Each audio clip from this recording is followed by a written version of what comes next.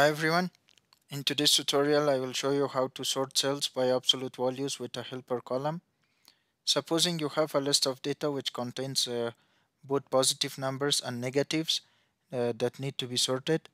If you apply the sort function in Excel, all the numbers will be sorted by ascending or descending order, but you want to ignore the sign uh, when you sort your data. That means sort the cells by absolute values. You can convert the values to absolute values first uh, and then use the sort function to sort the values and the cells will be sorted by their absolute values. Please do as follows. In the adjacent blank cell B2 for instance, type the following formula ABS. Uh, it returns the absolute value of a number, a number without its sign. Press tab for the number, select uh, cell A2, close the bracket, press enter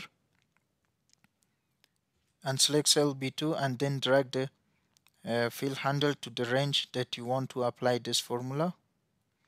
And all the numbers have been converted to absolute values. Then click the data tab in the sort and filter group. Click the sort option in the sort warning dialog box uh, check the expand the selection and click the sort button. And uh, in the sort by column select the absolute values. In the sort on section select cell values. In the order select the smallest to largest and click the OK button.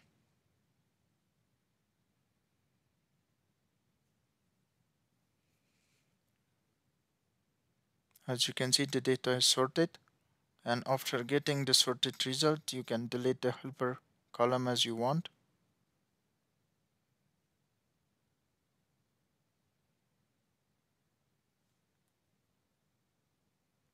Thanks for watching and please subscribe for more videos.